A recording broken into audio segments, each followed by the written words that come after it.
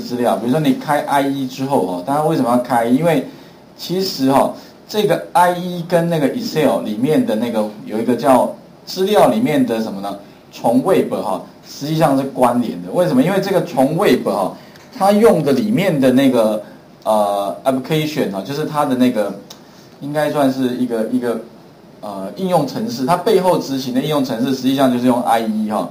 那所以呢，如果说你今天汇入资料，比如说你今天想要汇入什么股市资料，那你在那个搜寻一下好了，应该第一个出现应该会是哪一个呢？哦，雅虎，因为最多人使用雅虎哈，雅虎的股市。那比如说雅虎的股市里面哈，这有很多的相关的当日行情。那当日行情里面呢，你随便找一个类别好了，比如说我直接随便找一个塑胶类哦。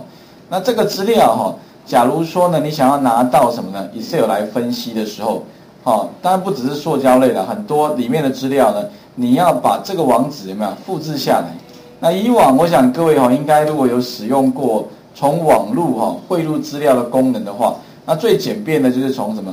从 Web 资料里面的从 Web，好，从 Web。可是呢，如果你现在哈这样否一下，假如你今天把这个网址贴上，一般的书籍里面都是教你这样，贴上之后你可以到。到之后你可以看到，你只要看到的画面，网络上如果说看到的资料呢，都可以荡下来。那要荡下来的方式就是说，你只要指定某一个表格，有没有？这边有一个 这个表格，假设你要这个表格的，你就把这个表格的左上角会出现有一个本来是黄色的箭头，你把它改成绿色的箭头，点下去之后，它就会自动有没有打勾之后，你把它汇入，它会问你说你要汇入哪里？你按一个确定之后的话呢，它理论上哈。就会从网络上帮你怎么样呢？把资料荡下来。可是呢，哈，一般呢，很多的网页里面呢，你会发现，哎，为什么看得到，但是却抓不到呢？